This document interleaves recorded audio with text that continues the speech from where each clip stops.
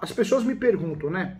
Ah, professor Júlio, é, comprar imóvel irregular é bom negócio? É um ótimo negócio. Tem muitos investidores, acho que você também é investidor, muitos investidores que, que vivem disso. E eu já vi pessoas construírem em cinco anos um patrimônio milionário. Por quê? Comprar posse você paga um valor abaixo do mercado, 30%, 40%, 50%.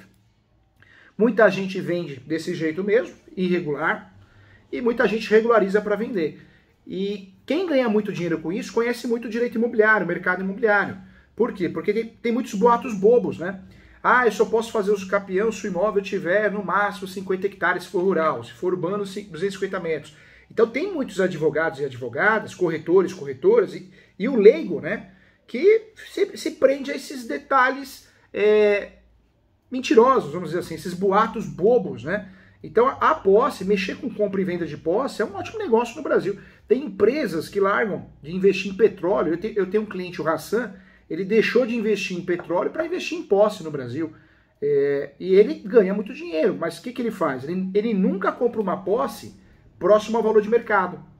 É, o que, que, eu, que, que eu vejo? Ele, ele, o valor que ele paga, o limite dele.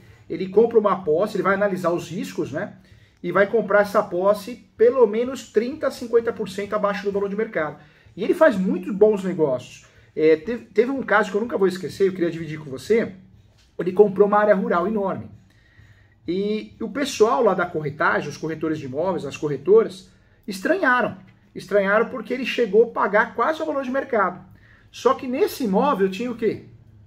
Tinha eucalipto, na época de corte.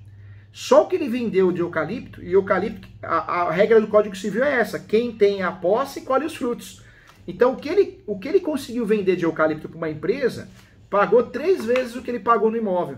Então, ele depois até meio que largou o imóvel, né? Esse empresário aí. Então, olha como conhecer o Código Civil, o efeito das posses é lucrativo, né? É lucrativo. Não tem jeito, né? É lucrativo.